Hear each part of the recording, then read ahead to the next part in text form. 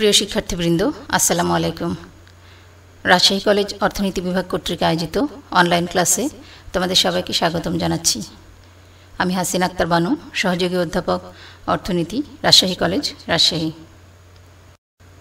আশা করি তোমরা সবাই ভালো আছো। আজ আমি আলোচনা করব প্রথম বর্ষ সম্মান শ্রেণির শিক্ষার্থীদের জন্য মৌলিক সামষ্টিক অর্থনীতির পঞ্চম অধ্যায়, ইনফ্লেশন বা মুদ্রাস্ফীতি থেকে কিছু বিষয় নিয়ে। আশা করি পুরো ক্লাস জুড়ে তোমরা আমার সঙ্গে থাকবে। তো আমরা আলোচনা শুরু করি। প্রথমে আমরা একটু জেনে নেই যে মুদ্রাস্ফীতি কাকে বলে। সাধারণভাবে মুদ্রাস্ফীতি বলতে এমন একটি পরিস্থিতিকে বোঝায় যখন দ্রব্যমূল্য বা দাম স্তর ক্রমাগত বৃদ্ধি পায় এবং অর্থের মূল্য হ্রাস পায়। আবার বলছি মুদ্রাস্ফীতি বলতে এমন একটি পরিস্থিতিকে বোঝায় যখন দ্রব্যমূল্য বা দাম স্তর ক্রমাগত বৃদ্ধি পায় এবং অর্থের মূল্য হ্রাস পায়। এখানে একটি বিষয় আছে, দেখো অর্থের মূল্য। তো অর্থের মূল্যটা হচ্ছে এক একক অর্থের মাধ্যমে যে পরিমাণ দ্রব্য সামগ্রী এবং সেবা ক্রয় করা যায় সেটি হচ্ছে অর্থের মূল্য। অর্থাৎ অর্থের মূল্য হচ্ছে অর্থের ক্রয় ক্ষমতা। হ্যাঁ? তো মুদ্রাস্ফীতির সময় কী হয়? দ্রব্য সামগ্রীর দাম ক্রমাগতভাবে বাড়তে থাকে, অর্থাৎ দাম স্তর বাড়তে থাকে। এর ফলে নির্দিষ্ট পরিমাণ অর্থ দিয়ে আগের তুলনায় কম পরিমাণ দ্রব্য সামগ্রী কেনা যায়, অর্থাৎ অর্থের মূল্য হ্রাস পায়। এখন আমরা জেনে নেই বিভিন্ন অর্থনীতিবিদ মুদ্রাস্ফীতি সম্পর্কে কী ধরনের সংজ্ঞা প্রদান করেছেন।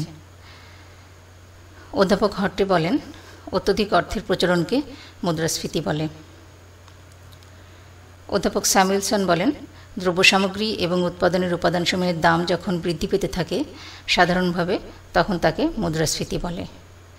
সুতরাং আমরা সংক্ষেপে বলতে পারি যে যখন দেশে প্রচলিত অর্থের পরিমাণ উৎপাদিত মোট দ্রব্য সামগ্রীর তুলনায় অধিক হয় এবং তার ফলে দাম স্তর ক্রমাগতভাবে বৃদ্ধি পেতে থাকে, সে অবস্থাকে মুদ্রাস্ফীতি বলে। চলো আমরা এখন জেনে নিই কী কী কারণে মুদ্রাস্ফীতি হয় অথবা মুদ্রাস্ফীতির কারণগুলো কী।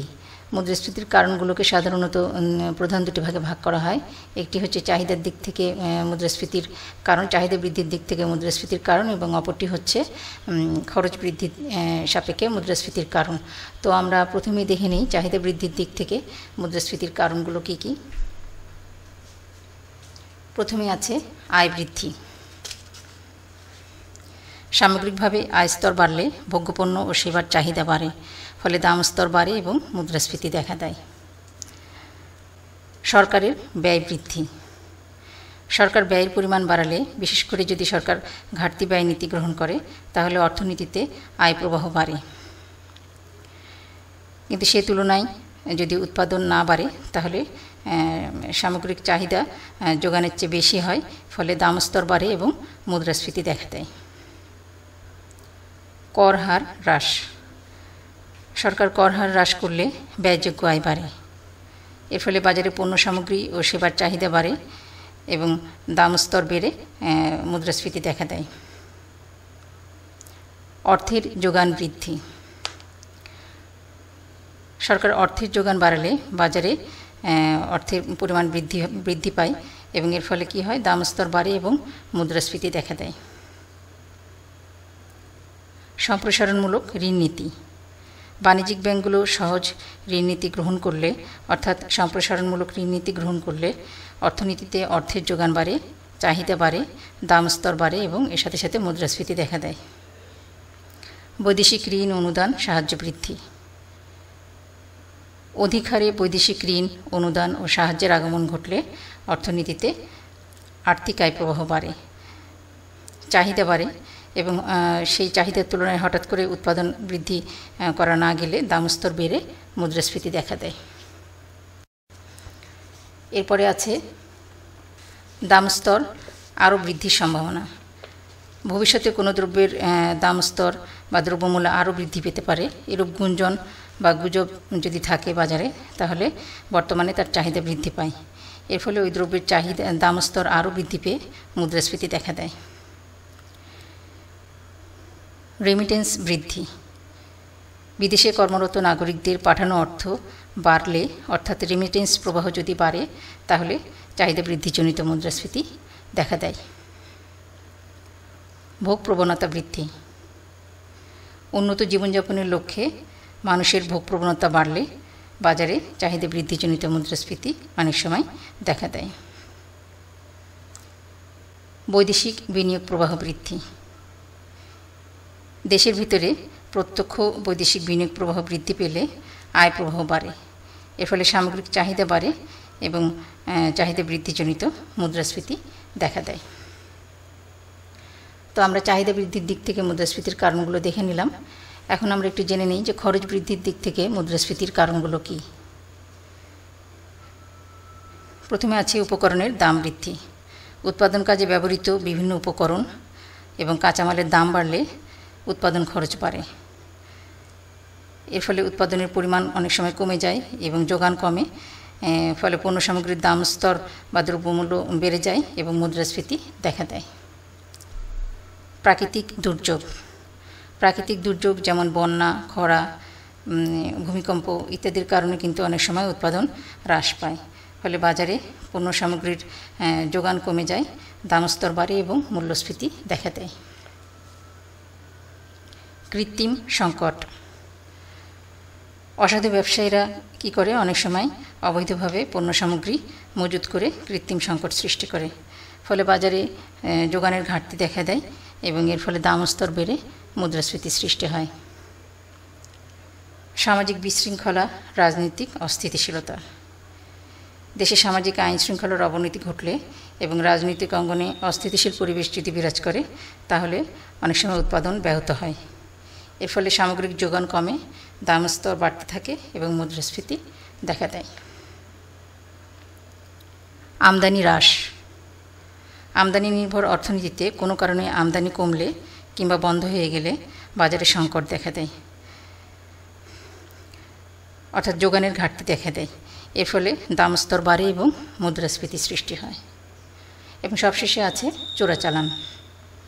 চোরাচালানের মাধ্যমে দেশের পণ্য সামগ্রী বিদেশে পাচার হলে বাজারে যোগানের ঘাটতি দেখা দেয় এবং এর ফলে যোগান হ্রাসজনিত মুদ্রাস্ফীতি বা খরচ বৃদ্ধিজনিত মুদ্রাস্ফীতি সৃষ্টি হয়। তো তোমরা জেনে নিলে মুদ্রাস্ফীতির কারণগুলো কি। আশা করি বিষয়গুলো তোমরা বুঝতে পারছ। এখন আমরা চলে যাব মুদ্রাস্ফীতির প্রকারভেদে।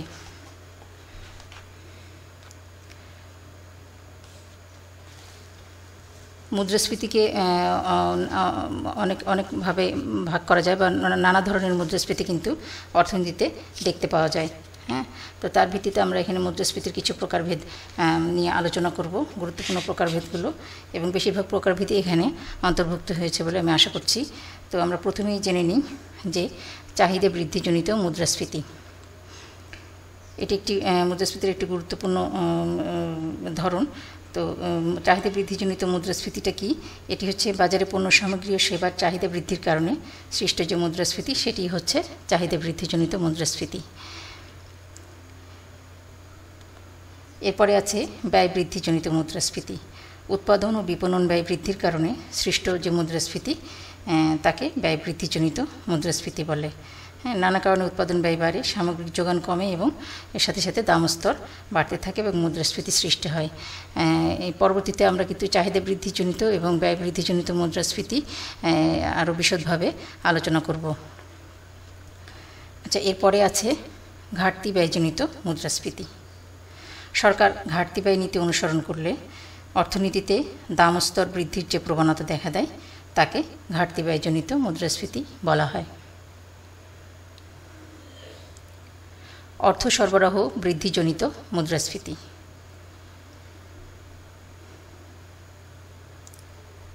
অর্থনীতিতে অর্থ সরবরাহ মুদ্রা সরবরাহ বৃদ্ধি পেলে দাম স্তর বৃদ্ধির প্রবণতা দেখা দেয় এবং তার ফলে যে মুদ্রাস্ফীতি সৃষ্টি হয় তাকে অর্থ সরবরাহ বৃদ্ধিজনিত মুদ্রাস্ফীতি বলা হয়। ঋণ বৃদ্ধিজনিত মুদ্রাস্ফীতি। উদার ঋণনীতি গ্রহণের ফলে ঋণ সরবরাহ বৃদ্ধি পেলে দাম স্তর বৃদ্ধি পায় এবং এর সাথে সাথে মুদ্রাস্ফীতির সৃষ্টি হয়। এই এবং এই ধরনের মুদ্রাস্ফীতি ফীতি হচ্ছে ঋণ সরবরাহ বৃদ্ধিজনিত মুদ্রাস্ফীতি। আচ্ছা এখন আমরা চলে আসি মৃদু মুদ্রাস্ফীতিতে।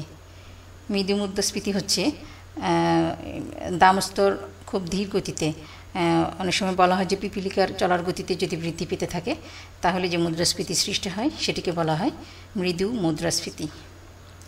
এক্ষেত্রে দাম স্তর প্রতি বছর এক শতাংশ থেকে দুই শতাংশ পর্যন্ত বৃদ্ধি পায়।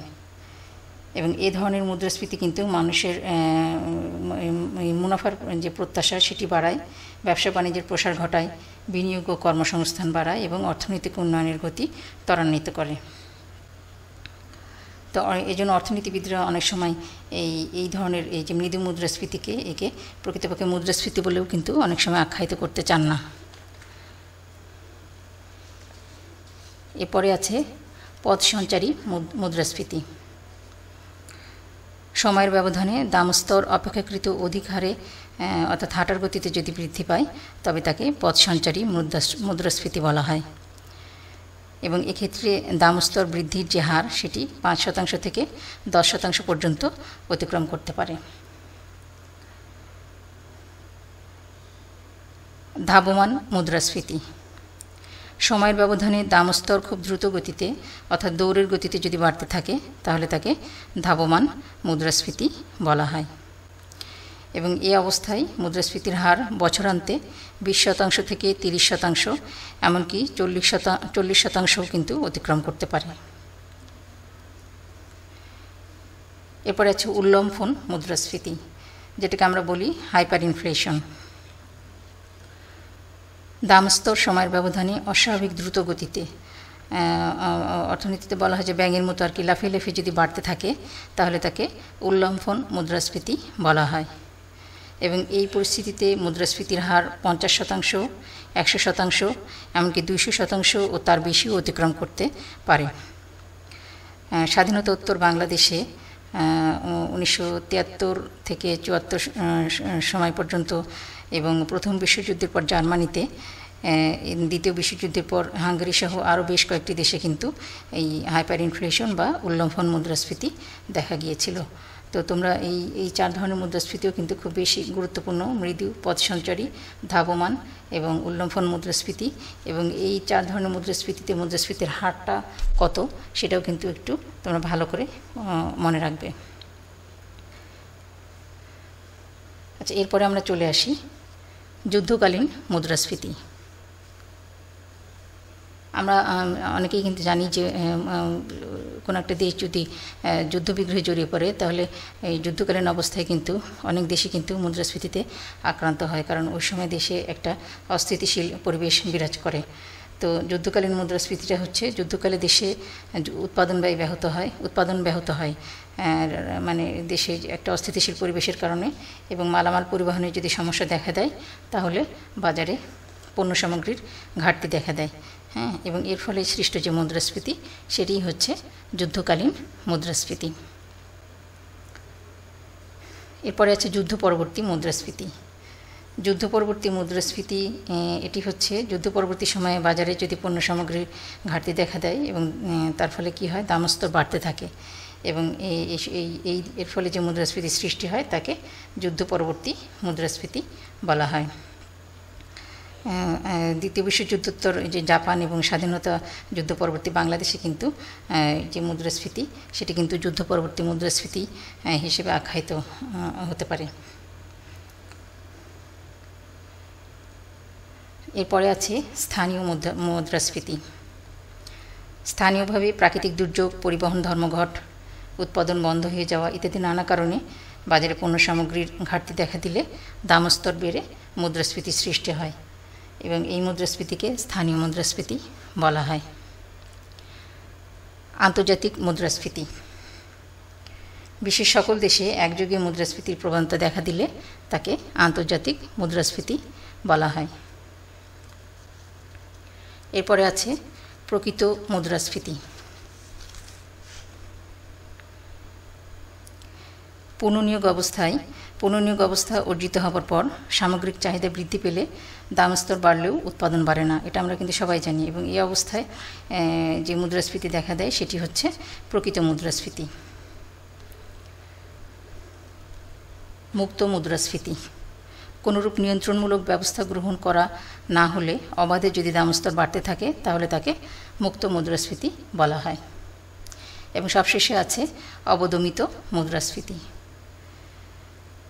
মুদ্রাস্ফীতি দমনে সরকার বিভিন্ন নিয়ন্ত্রণমূলক ব্যবস্থা গ্রহণ করলে থেমে থেমে কিছুদিন পরপর দামস্তর বাড়তে থাকলে তাকে অবদমিত মুদ্রাস্ফীতি বলা হয়। অর্থাৎ নিয়ন্ত্রণমূলক ব্যবস্থা নিয়েও মুদ্রাস্ফীতিকে কিছুদিনের জন্য দমিয়ে রাখা গেলেও বা অবদমন করা গেলেও একেবারে নির্মূল করা যায় না। এই জন্য একে অবদমিত মুদ্রাস্ফীতি বলা হয়। তো আমরা জেনে নিলাম নানা আমাদের অর্থনীতিতে যে নানা ধরনের মুদ্রাস্ফীতি বিরাজ করে, সেই নানা ধরনের মুদ্রাস্ফীতি সম্পর্কে আমরা একটু একটু করে জেনে নিলাম এবং এগুলো তোমরা সবাই সুন্দরভাবে এগুলো নিজেরা একটু পড়ে নেবে এবং জেনে নেবে অর্থনীতির স্টুডেন্ট হিসেবে, অর্থনীতি শিক্ষার্থী হিসেবে কিন্তু এগুলো, সব ধরনের মুদ্রাস্ফীতি সম্পর্কেই তোমাদের ধারণা থাকা আবশ্যক। এখন আমি আমি আগে বলেছিলাম যে এই যে মুদ্রাস্ফীতির প্রকারভেদগুলো এগুলোর মধ্যে দু ধরনের মুদ্রাস্ফীতি, অর্থাৎ চাহিদাজনিত, চাহিদা বৃদ্ধিজনিত মুদ্রাস্ফীতি এবং খরচ বৃদ্ধিজনিত যে মুদ্রাস্ফীতি, সেটি কিন্তু সেই দুই ধরনের মুদ্রাস্ফীতি তোমাদেরকে একটু বিশদভাবে পড়তে হবে। কারণ এই দুই ধরনের মুদ্রাস্ফীতি তোমাদের খুব বেশি গুরুত্বপূর্ণ। তো আমরা প্রথমেই চলে যাই। চাহিদা বৃদ্ধিজনিত মুদ্রাস্ফীতি কাকে বলে, সেটি একটু জেনে নিই। যদিও আমরা ইতিমধ্যে জেনে গেছি, তারপর আর একটু বিশদভাবে আমাদের জানতে হবে। তো চাহিদা বৃদ্ধিজনিত চাপের ফলে অর্থনীতিতে যে মুদ্রাস্ফীতি সৃষ্টি হয়, তাকে চাহিদা বৃদ্ধিজনিত মুদ্রাস্ফীতি বলা হয়। সরকারি ব্যয় বৃদ্ধি, অর্থ সরবরাহ বৃদ্ধি, কর হার হ্রাস রেমিটেন্স বৃদ্ধি ইত্যাদি নানা কারণে অর্থনীতিতে সামগ্রিক চাহিদা বৃদ্ধি পেতে পারে। এ অবস্থায় সামগ্রিক চাহিদা রেখা ডান দিকে স্থান পরিবর্তন করতে থাকলে দাম স্তর বাড়তে থাকে আর দাম স্তর বৃদ্ধির এই যে এই ধরনের প্রবণতা, এর প্রবণতাকে চাহিদা বৃদ্ধিজনিত মুদ্রাস্ফীতি বলা হয়। আসো আমরা এখন একটু চিত্রের মাধ্যমে বিষয়টি জেনে নেই, চাহিদা বৃদ্ধিজনিত মুদ্রাস্ফীতি কেমন হয়। দেখো, এখানে আমরা চাহিদা বৃদ্ধিজনিত মুদ্রাস্ফীতি দেখিয়েছি। এখানে আমরা চিত্রে ও এক্স অক্ষে উৎপাদনের পরিমাণ দেখাচ্ছি এবং ওয়াই অক্ষে দাম স্তর দেখানো হয়েছে। আর এখানে আমরা যে এডি এডি রেখা দেখছি দেখছি এডি এবং এস রেখা যথাক্রমে সামগ্রিক চাহিদা ও সামগ্রিক যোগান রেখা নির্দেশ করছে এখানে। তো সামগ্রিক চাহিদা যদি কোনো কারণে বৃদ্ধি পায়, কী কী কারণে সামগ্রিক চাহিদা বৃদ্ধি পায় তার সেগুলো কিন্তু আমরা ইতিপূর্বে উল্লেখ করেছি। তো সেগুলো কোনো একটি কারণে যদি সামগ্রিক চাহিদা বৃদ্ধি পায়, তাহলে কি হয়? তাহলে এডি রেখা বা সামগ্রিক চাহিদা রেখা এডি ওয়ান এডি টু এবং এডি থ্রিতে ডান দিকে স্থান পরিবর্তন করে হ্যাঁ? তোমরা চিত্রে দেখো, এডি ওয়ান, এডি থেকে এডি ওয়ান এবং এডি ওয়ান থেকে এডি টু এবং এডি এডি টু থেকে এডি থ্রিতে ক্রমাগত স্থান পরিবর্তন করছে সামগ্রিক চাহিদা রেখা, সামগ্রিক চাহিদা বৃদ্ধির কারণে। এবং এর এর ফলে কি হয়? এর ফলে কিন্তু ভারসাম্যটা পরিবর্তিত হয় এবং এ কারণে দাম স্তরও পরিবর্তিত হয়। দাম স্তর আমরা প্রাথমিক দাম স্তর দেখছি পি জিরো সামগ্রিক চাহিদা বৃদ্ধির সাথে সাথে দাম স্তর বৃদ্ধি পেয়ে পি জিরো থেকে পি ওয়ান পি টু এবং পি থ্রিতে বৃদ্ধি পেয়েছে। তো এই যে দাম স্তর বৃদ্ধির এই যে প্রবণতা, এটাই হচ্ছে চাহিদা বৃদ্ধিজনিত মুদ্রাস্ফীতি। এখানে তোমরা একটি বিষয় লক্ষ্য করো যে এই যে এ এস রেখা, অর্থাৎ সামগ্রিক যোগান রেখা যেটা আমরা দেখছি এটা কিন্তু বাম থেকে ডানে ঊর্ধ্বগামী হয়ে একদম ভূমি অক্ষের সমান্তরাল হয়ে গেছে। তো এটা কেন হয়েছে? এই যে এডি রেখা এডি রেখা, এডি ওয়ান এডি জিরো থেকে এডি ওয়ান এবং এডি টুতে স্থানান্তর হয় আর কি হ্যাঁ? স্থানান্তর হলে দামস্তর বৃদ্ধির সাথে সাথে উৎপাদনের পরিমাণ কিন্তু ওয়াই জিরো থেকে ওয়াই ওয়ান এবং ওয়াই টুতে বৃদ্ধি পায়। হ্যাঁ অর্থাৎ সামগ্রিক চাহিদা বৃদ্ধির ফলে তার সাথে তাল মিলিয়ে কিন্তু উৎপাদনও বৃদ্ধি পায়। এখন ওয়াই টু যদি পূর্ণ নিয়োগ স্তর হয় ওয়াই টু পূর্ণ নিয়োগ স্তর হলে ই টু বিন্দুর পরে কিন্তু এস রেখা লম্বক্ষের সমান্তরাল হয়ে যায়। হ্যাঁ অর্থাৎ এরপর এডি বৃদ্ধি পেলে বা সামগ্রিক চাহিদা বৃদ্ধি পেলে শুধু দাম স্তরই বাড়ে, উৎপাদন বাড়ে না। এবং কেইন্স কি বলছেন? কেইন্স এই ধরনের যে বৃদ্ধিটা আর কি কেইন্সের মতে এই এই ধরনের যে মুদ্রাস্ফীতি, এটাকে কেইন্স প্রকৃত মুদ্রাস্ফীতি বলছেন। হ্যাঁ? এবং এ পর্যায়ে উৎপাদন বৃদ্ধির পথে যে বাধা সৃষ্টি হয়, এই বাধা সৃষ্টির কারণে এই মুদ্রাস্ফীতিকে কিন্তু বাধাজনিত মুদ্রাস্ফীতিও বলা হচ্ছে। তো আশা করি তোমরা বুঝতে পেরেছ চাহিদা বৃদ্ধিজনিত মুদ্রাস্ফীতিটা কি। ছবিটা সুন্দর করে নিজের বাসায় এঁকে প্র্যাকটিস করে নেবে। এখন আমরা চলে যাই ব্যয় বৃদ্ধিজনিত মুদ্রাস্ফীতি কাকে বলে বা ব্যয় বৃদ্ধিজনিত মুদ্রাস্ফীতি কী, সেটি একটু দেখে নিই। তো আমরা চাহিদা বৃদ্ধিজনিত মুদ্রাস্ফীতির ক্ষেত্রে আমরা ইংরেজিটা একটু জেনে নিই সেটি হচ্ছে কিন্তু ডিমান্ড পুল ইনফ্লেশন আর ব্যয় বৃদ্ধিজনিত মুদ্রাস্ফীতিকে আমরা বলছি, ইংরেজিতে বলছি কস্ট পুশ ইনফ্লেশন তো ব্যয় বৃদ্ধিজনিত মুদ্রাস্ফীতির সংজ্ঞাও আমরা ইতিমধ্যে দেখেছি, তারপর আমরা একটু বিশদভাবে এখন দেখে নিই। উৎপাদন খরচ বৃদ্ধির কারণে সৃষ্ট মুদ্রাস্ফীতিকে ব্যয় বৃদ্ধিজনিত মুদ্রাস্ফীতি বলা হয়।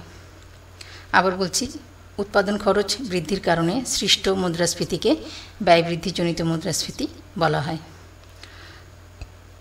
উৎপাদনের যে উপাদানসমূহ, যেমন শ্রমিকের মজুরি, কাঁচামাল, যন্ত্রপাতি, প্রভৃতির মূল্য বৃদ্ধি পেলে উৎপাদন ব্যয় বৃদ্ধি পায়। আর উৎপাদন ব্যয় বৃদ্ধির ফলে বাজারে পণ্য সামগ্রীর যোগান কমে এবং উৎপাদিত দ্রব্য সামগ্রীর দাম বৃদ্ধি পায়। এই অবস্থায় সামগ্রিক যোগান রেখা ডান থেকে বামে স্থান পরিবর্তন করে এবং উৎপাদন কমে ও দামস্তর বাড়তে থাকে। দামস্তর বৃদ্ধির এই যে প্রবণতা, এটাকে ব্যয় বৃদ্ধিজনিত মুদ্রাস্ফীতি বলা হয়। এখন আমরা একটি চিত্রে চলে যাই যে ব্যয় বৃদ্ধিজনিত মুদ্রাস্ফীতিটা চিত্র কেমন? দেখো, এখানে আমরা একই রকমভাবে আমরা চাহিদা বৃদ্ধিজনিত মুদ্রাস্ফীতির মতোই ব্যয় বৃদ্ধিজনিত মুদ্রাস্ফীতিকেও আমরা চিত্র উপস্থাপন করেছি এবং ওই চিত্রের ঠিক বিপরীত অনেকটাই এখানে চিত্রটা।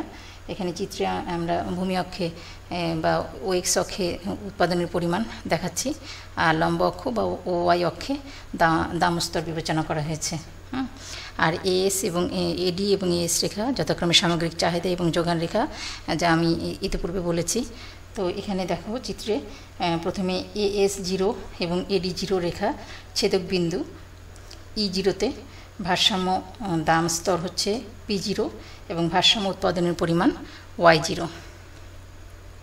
হ্যাঁ আমি আবার বলছি এ এস জিরো এবং এডি এডি জিরো রেখার ছেদবিন্দু ই জিরোতে ভারসাম্য দামস্তর পি জিরো এবং ভারসাম্য উৎপাদনের পরিমাণ ওয়াই জিরো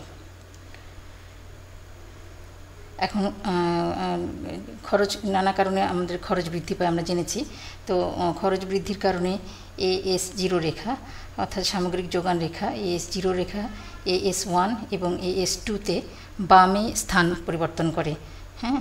আবার বলছি দেখো এ এস জিরো রেখা এ এস ওয়ান এবং এ এস টুতে বামে স্থান পরিবর্তন করে এবং এর ফলে এর সাথে সাথে দাম স্তরও বৃদ্ধি পেয়ে পি জিরো থেকে পি ওয়ান এবং পি টুতে বৃদ্ধি পায়। যেহেতু ভারসাম্যর পরিবর্তন হচ্ছে, এজন্য দাম স্তরেরও পরিবর্তন হয়। পি জিরো থেকে পি ওয়ান এবং পি টুতে দাম স্তর বৃদ্ধি পায়। তো এই যে দাম স্তরের এই যে বৃদ্ধিটা, এটি কিন্তু খরচ বৃদ্ধিজনিত মুদ্রাস্ফীতি। তো আমরা একটু এখন এখান থেকে আমরা একটু চাহিদা বৃদ্ধিজনিত এবং খরচ বৃদ্ধিজনিত মুদ্রাস্ফীতির মধ্যে একটু পার্থক্য, দু একটা পার্থক্য একটু নির্ণয় করার চেষ্টা করি, তাহলে তোমাদের ধারণাটি আরও পরিষ্কার হবে। যে চাহিদা বৃদ্ধির কারণে যে মুদ্রাস্ফীতি বা দামস্তর বৃদ্ধির যে প্রবণতা, সেটি হচ্ছে চাহিদা বৃদ্ধিজনিত মুদ্রাস্ফীতি। অন্যদিকে উৎপাদন খরচ বৃদ্ধির কারণে সৃষ্ট যে মুদ্রাস্ফীতি, সেটি হচ্ছে খরচ বৃদ্ধিজনিত মুদ্রাস্ফীতি। এবং আরেকটি মূল পার্থক্য এখানে আছে, সেটি হচ্ছে চাহিদা বৃদ্ধিজনিত মুদ্রাস্ফীতির ক্ষেত্রে এডি রেখা অর্থাৎ সামগ্রিক চাহিদা রেখা ডানে স্থান পরিবর্তন করে। এটা অবশ্যই ভালো করে মনে রাখবে। আর পক্ষান্তরে খরচ বৃদ্ধিজনিত মুদ্রাস্ফীতির ক্ষেত্রে এ এস রেখা অর্থাৎ সামগ্রিক যোগান রেখা বামে স্থান পরিবর্তন করে। ডানে আর বামে এই জিনিসটা অবশ্যই খেয়াল রাখবে এবং মনে রাখতে হবে। আচ্ছা আরেকটি আমরা পার্থক্য এখানে বলতে পারি যে চাহিদা বৃদ্ধিজনিত মুদ্রাস্ফীতির বেলায় দাম, স্তর এবং উৎপাদন একই সাথে বাড়ে হ্যাঁ?